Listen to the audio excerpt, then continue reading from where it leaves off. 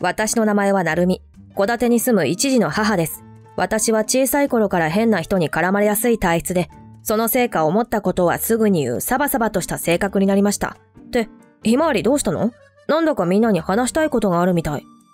今日はゆりがいつもどんな風に動いているかが見れるかもゆりのなるみさんに対する深い愛情も見えるかもしれないから楽しみにしててねゆりの私への愛情も見えたりしないかな？ちょっと、何この車？なるみさんって車ってものを知らないの？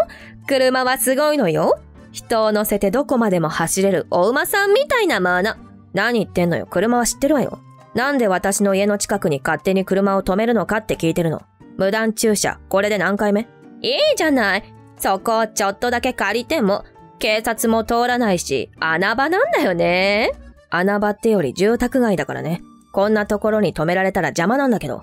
なら、なるみさんの家の駐車場貸してよ。なるみさんの家の駐車場って、今勝手に使えなくなったらしいじゃんだからここに止めるしかないんだよね。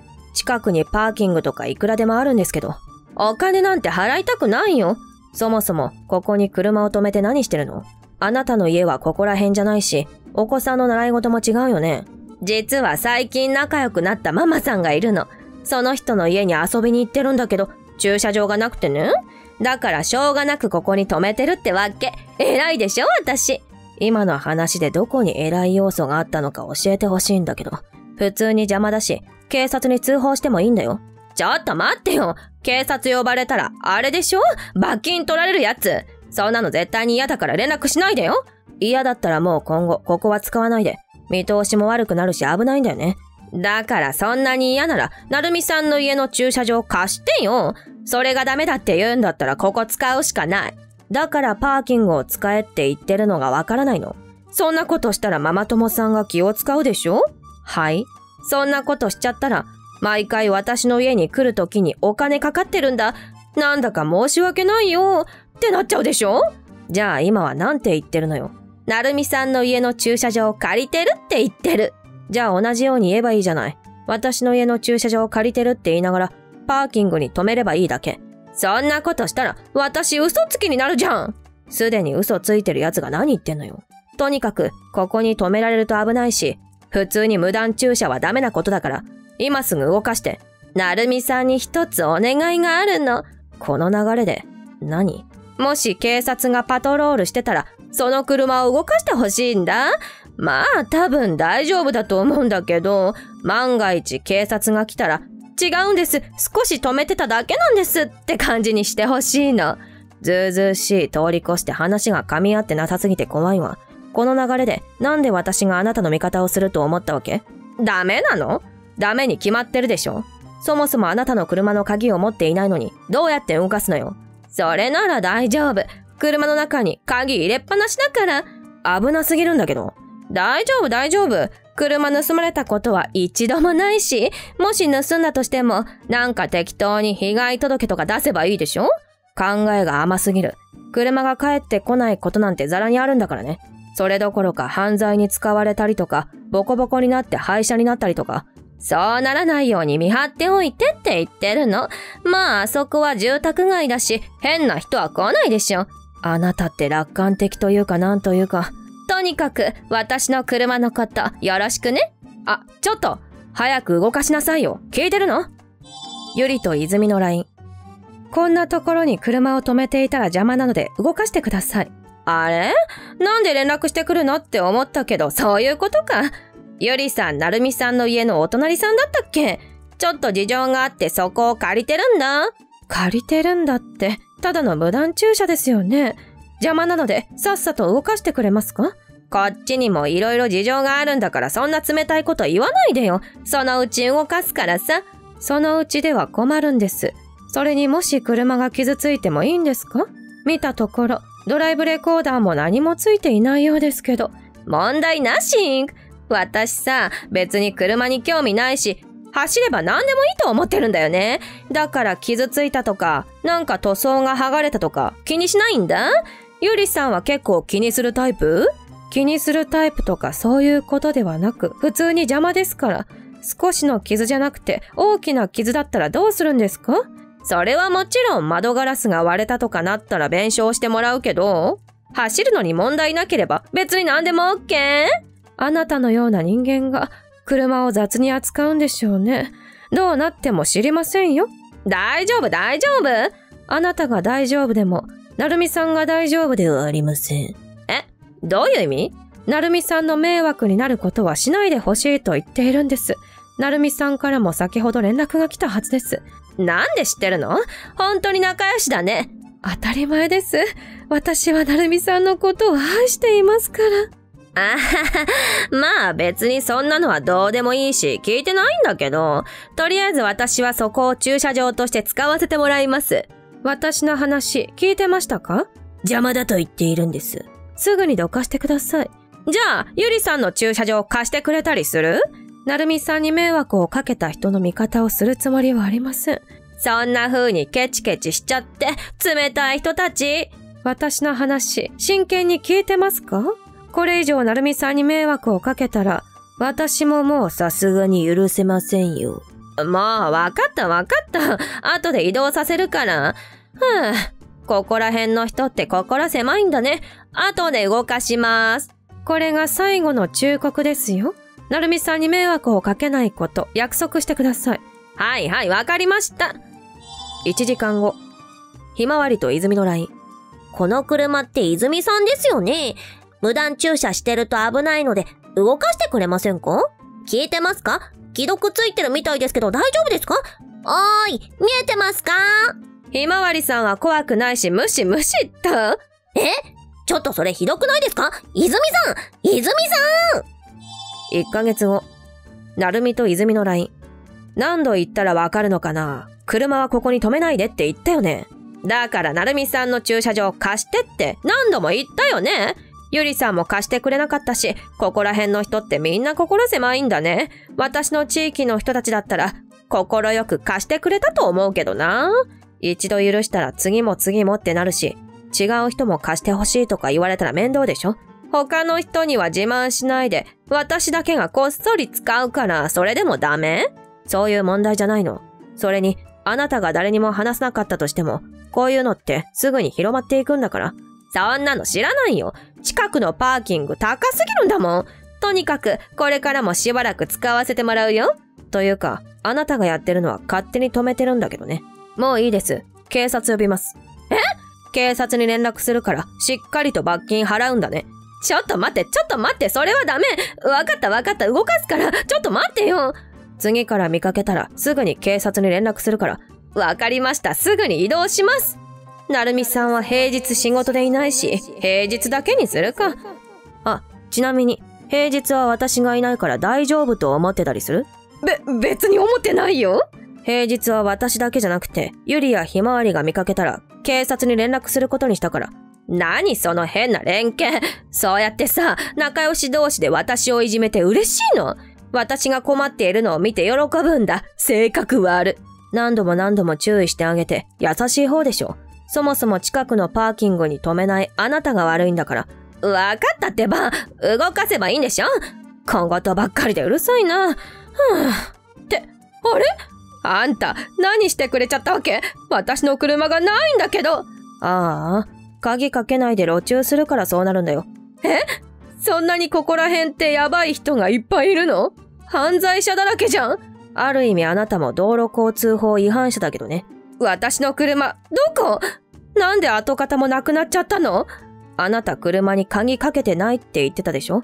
それって誰でも乗れるってことだよ。でも普通の人はそんなことしないでしょ？まあ普通の人は毎回のように路中することもないんだけどね。ちょっと待って、ちょっと待って！嘘だ、嘘だ、嘘だ！車に興味ないと言っても、あれ、それなりに金額する車なんだよ？そんなの私に言われても知らない。なるみさん見てたんじゃないの？誰か車を持っていくところ見てない？残念ながら私は見てないよ。どこに行っちゃったの？私の車？言わんこっちゃない。だって今まで盗まれたことなくて、この街はある意味めちゃくちゃ治安が良くて悪いからね。どういうこと？変な人が集まってくるけど、変な人はすぐに消されるってこと。でも私、車なくなったんだけどそれは多分、あなたが私の注意を無視したからだね。だから目をつけられちゃったんだよ。怖い悪魔さんに。意味わかんないんだけど？そろそろその人から連絡が来る頃だと思うよ。え？ゆりと泉の LINE。私の忠告を無視しましたね。もう勝手に使わないでほしいと言ったのに。このタイミングで連絡が来たってことは、なるみさんが言ってたのはゆりさん？でもさすがにそんなはずないか。ゆりさんたまに怖い顔してるけど基本的に優しいし、仏の顔も3度まで。まあ私は3度も許すほど心は広くありませんけど、なるみさんに迷惑をかけて1回の忠告、それを聞かなかったら即地獄行きです。え、なんかいつもとキャラ違くない？キャラなんてどうでもいいんですよ。あなたにとって私がどう見えているかなんて、私がなるみさんにとってどう見えているかが全てなんですから。私の大好きな大好きな大好きななるみさん。あの、大丈夫ですか？いろんな意味で。なるみさんは私が痴漢被害に遭っているところを助けてくれたんです。それもまだ、ママ友として知り合う前の赤の他人の状態で、ママ友も赤の他人っていうことに変わりはないと思うけどあの時、なるみさんが止めてくれなかったら、私はきっとあの男の腕を切り落としていました。もしそんなことをしていれば、今の家族との幸せな生活、それから、なるみさんとの楽しい、うふふ、あははの思い出たち、全部なかったでしょうね。うふふ、あははの思い出たち？そんな命の恩人である成美さん。心が広く、女神様のように綺麗な成美さん。そんな成美さんに迷惑をかけたあなたは地獄行き。地獄って？と言いたいところですけど、改心するなら許してあげましょう。なんでちょっと上から目線なのよ？そんなことより私の車がなくなったの？ああ、あれですか？あなたの車なら盗まれて今ボロボロですよ。廃車寸前というか、もはや廃車ですね。なんでそんなことになったの？偶然たまたま、本当に偶然悪い考えの人がいたみたいですね。その人があなたの車を盗んでいったので、行ったので？悪いことはしてはいけないと思って追いかけていたんです。そしたら、あら不思議。偶然たまたま交通事故にあって、そのまま警察に捕まりました。そしてあなたの車はぺっちゃんこに。けど、あなたの車を盗んだ人も大怪我みたいなので、ちょっと待って、嘘でしょ？私の車？旦那になんて説明すればいいのよ。旦那様には私の方からしっかりと説明していますが、ええー、やめてよ。なんで説明なんかしちゃうのよ？なるみさんに迷惑をかけた人は地獄に落とすと言ったはずです。それでどうするんですか？罪を悔い改めますか？悔い改めなかったらどうなるの？私が経営している裏の施設でぐちゃぐちゃの肉兵になってもらいます。いやわかりました悔い改めます何をすればいいですか？私と一緒に一週間生活をしてくれればいいんですよ。え？それだけ？それだけで結構です。そしてその後、なるみさんに迷惑をかけなければ、あなたのことは自由にしてあげます。たったそれだけでいいの？はい。朝から晩まで、なるみさんがどんなに素晴らしい人なのか聞かせてあげましょう。それからなるみさんの間違い探し、それからなるみさんの持ち物はどれでしょうクイズ、なるみさんの指紋、髪の毛はどれでしょうクイズ、なるみさんの一日の行動パターン。いいえ、それはあなたに教えるにはもったいないですね。とにかく、なるみさんのことについてじっくりゆっくり勉強しましょう。あ、あの、一週間後のなるみさんクイズに合格することができれば自由のみ。もし合格できなかったら成美山塾に通ってもらいましょう。裏の施設で新しくできた成美山塾です。勘弁してよ肉体的な拷問されるよりマシだと思いますよ。それより早く一緒に勉強しましょう。そんなの嫌なるみとひまわりの LINE。なんだか最近全然ゆりが遊んでくれないんですよ。確かに忙しそうにしてるみたいだよね。浮気してるんですよ浮気うん。そんなに寂しいなら家に遊びに行っちゃったら？なんだかんだひまわりのこと無限にはしないだろうし。そうですね突撃してきますお二人には今まで多大なるご迷惑をおかけして大変申し訳ございませんでした。今後このようなことがないようにいたします。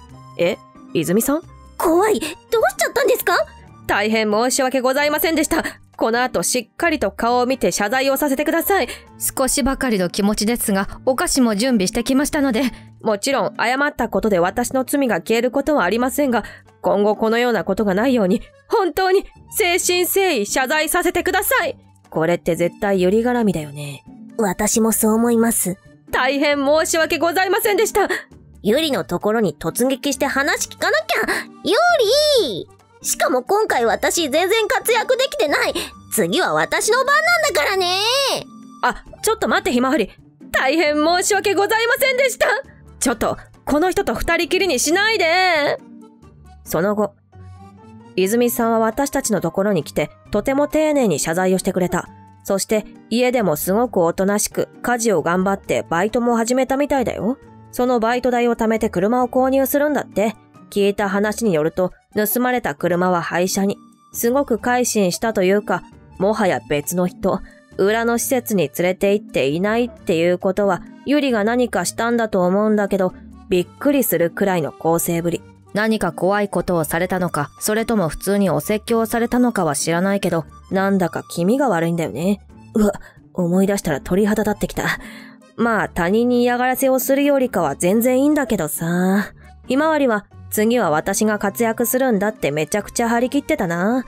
ゆりって私たちが見えないところでどんなことをしてんだろう。なんだかんだ謎に包まれてるんだよね、ゆりって。ひまわりの活躍も楽しみだな。ねえ気になるよゆりの秘密秘密？ちょっと前の話で言ってたじゃん何か秘密があるんでしょ？どうしても知りたいんですか？知りたいそうですね。もし、どうしても早く知りたいというのであれば、メンバーシップで見れます。メンバーシップって何ができるの？特別な動画を見れるんですよ。私の秘密は、もう少し待っていただければ見れるかもしれませんが、やだ早く見たいどうしても早く見たいのであれば、先ほど言ったメンバーシップで見れますので、他にも可愛い新キャラのモネちゃんも見れますし、何それ？私というものがありながらこの浮気者。しゃあふんなんか見る気なくなっちゃった。私たちの秘密の話も聞けますよ。え？私たちがどうやってできたのか、裏話のような話です。つまり、私たちの出生秘話のようなものですね。何それ？実はあなたはメインキャラじゃなかったとかなんとか。え？何それ？気になる。じゃあ私も見るもし気になる方がいたら、ぜひメンバーシップの方も覗いてみてください。ゆりの秘密を暴くぞ最後まで見ていただいてありがとうございました。チャンネル登録、高評価をお願いします。それでは次回の動画でまたお会いしましょう。